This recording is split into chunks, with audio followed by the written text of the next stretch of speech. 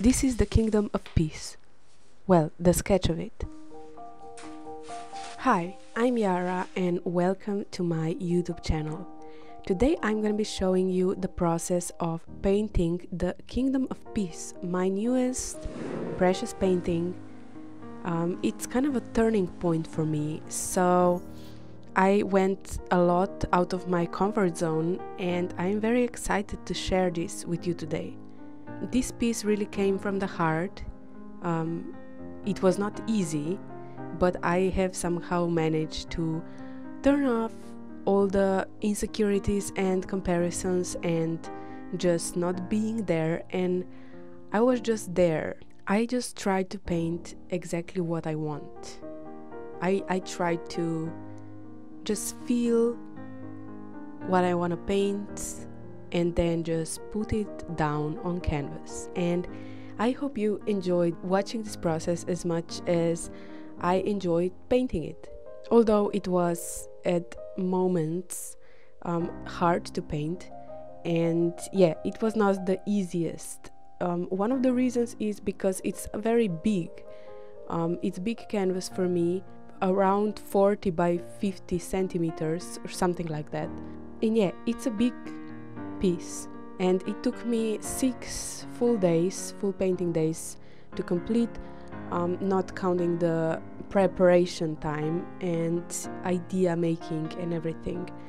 But yeah, it was also challenging because I incorporated various landscape elements that are not in my comfort zone to incorporate in one piece uh, or in none, like horizon, um, mountains, forests, hill, big river, trees up close, which you will see later, and a castle. I was building the color layer by layer and didn't really know what I was doing. Uh, the especially confusing part was the color palette because I wanted the river to be very turquoise and then I didn't want the sky to be turquoise, but if I would make a sky uh, more toned down blue and the river turquoise, it would not seem like it's part of the same painting because the river reflects the sky. So I was just playing with colors there. And at first, I did this very, very toned down, um, not bright at all colors in the horizon. I wasn't really sure what I wanted.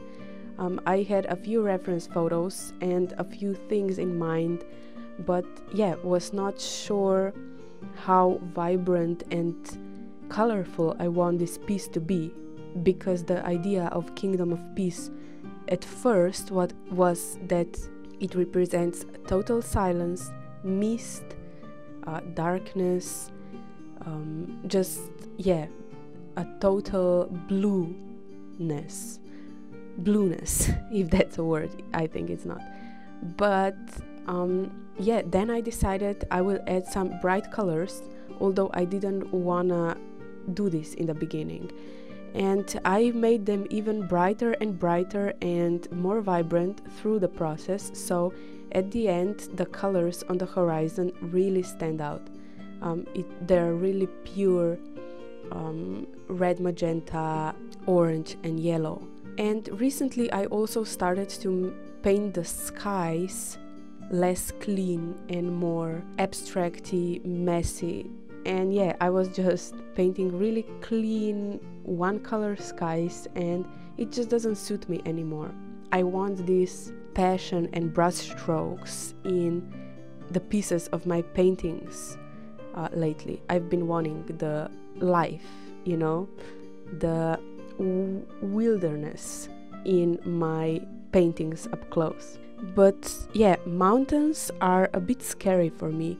I have painted quite a few mountains in my life, but it's out of my comfort zone because it looks like a really easy element to paint, but then it can go so wrong so quickly, uh, in my experience. So they are a little intimidating for me. And I think that's actually the first mountain that ever turned out good that I painted. Like, turned out at least somewhat realistic and good looking and not all weird. With the forest, I painted. Actually, it's interesting. I paint the forest the same way I paint the grass fields. First, I lay down the dark, and then I just do highlighted trees on it. And on the far away parts, I paint it lighter and then add darker trees on it, if that makes sense. Um, yeah, through time, I just kind of gotten to know the process of painting these nature elements as the grass and the trees, and I'm very thankful for that because I really like painting landscapes and nature. Um, I never thought I will say I always liked to paint it, but I thought my main thing were portraits. But in the recent year, I have discovered that I almost don't want to paint portraits or humanoids, humanoids, humanoids anymore, um, or creatures. I just want to paint trees. That is my life trees, grass, skies, water. The water is a new one actually. Um, yeah, landscapes. Landscapes are the best. I wanted to paint the water here that is so very clean. It looks actually magically turquoise. Uh, don't you love turquoise water? Like if you've ever been in the hiking trip or somewhere somewhere in nature where the water is so clean that it's turquoise. That's like the best view ever. And I wanted this water to look like the cleanest, richest water in all the land and a supply of life for the castle. Big communities in history, kingdoms, and later cities always were built near the water, or I guess almost always, but I think that always. And that is because they needed the supply of water for, you know, drinking, cleaning, for transportation, roads, like with boats and stuff. But yeah, the communities of people were always near some kind of water, and the castle cannot stand without at least a little stream near it. But I wanted to go big and paint this massive river. About this white castle, it's made from the white rock. I chose white because I wanted um, everything to reflect a total peace and purity. And yeah, I wanted this rock to be snow white, like the cleanest rock. And I don't know which rock is that, but you know, White Castle. And I always loved how castles look. I don't know if you know, but I am a biggest fan. I was a biggest fan of Disney princesses and all kinds of fairy tales as I was little and as I grown up. I love this kind of fantasy medieval stuff. And castles are about the prettiest things if done right. So, no pressure on this castle. I'm just kidding. It was a little bit of pressure, especially because at first it looked like it's too flat and I didn't know what I was doing wrong. Um, when I added more shadows, like these blue shadows, um, it didn't look white anymore. But when I then added more white, it looked flat.